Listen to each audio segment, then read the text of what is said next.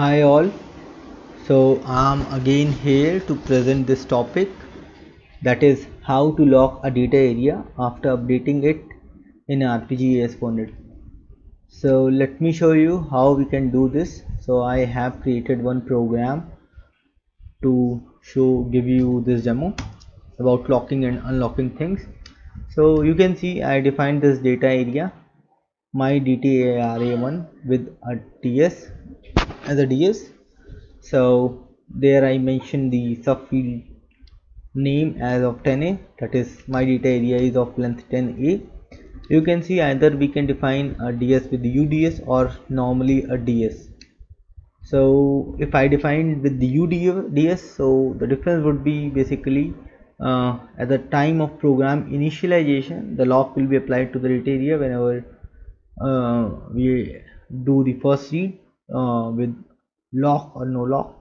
So whenever we apply a lock on data area it would apply the lock. But if we read the data area we would be applying the lock automatically so here whenever we are reading the data area we are not applying the the lock because we didn't specify the lock and we defined the data area as ds not a uds so here you can see once i do the out that is updating or writing on the data area i can you can see uh, the lock will be removed but here they since there is no lock no lock would be removed.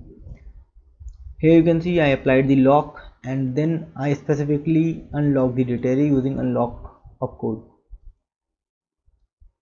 so when i am reading i am applying the lock and then i am unlocking that. Again you can see i am doing unlocking when I am reading now. When I perform the out that is once I perform this out operation on data area that is what it does it removes the lock. It updates the data area and it removes the lock.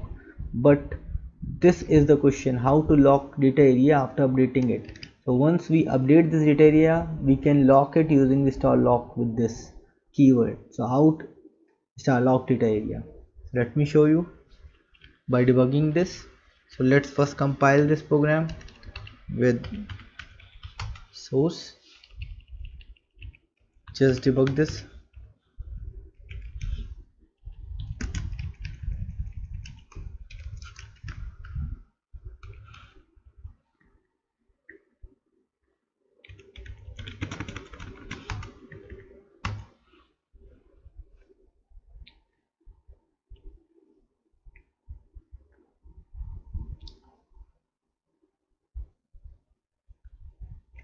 so we'll be setting the breakpoint uh, on line number one.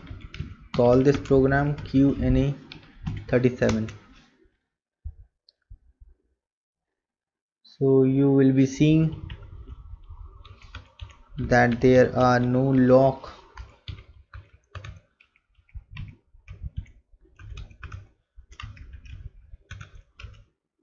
on this data area till now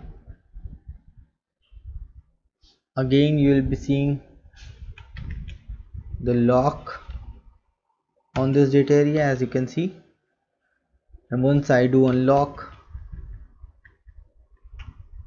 the lock is removed. Once I lock again and this will update the data area. So there is a lock but once I update the data area the lock would be removed. So how can I uh, what should I do? To not uh, remove the lock. So basically I'm using the lock again. So once I use this lock you will be seeing the lock is there on the data area. And it will be removed when INLR sets to on or the program gets end.